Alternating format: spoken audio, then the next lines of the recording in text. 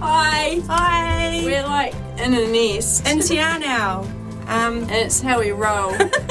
it's a road trip, and we just sort of like ambushed it, so we're saying hi.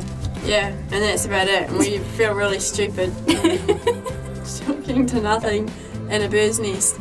But, um, she was on crutches. On crutches and uh, yeah, we miss you and you should come home. You need to come home. Um, because Dax isn't the same without you. No, it's not. And Jill, you can take over quiz again because I'm not really that good.